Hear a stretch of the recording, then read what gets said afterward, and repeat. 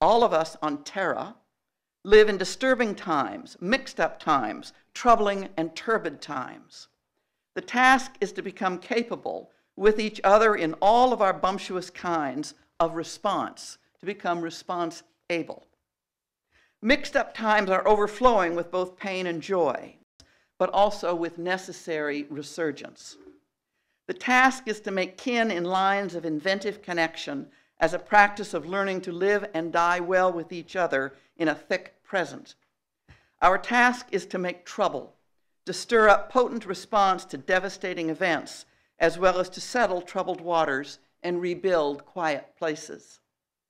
In urgent times, many of us are tempted to address trouble in terms of making an imagined future safe.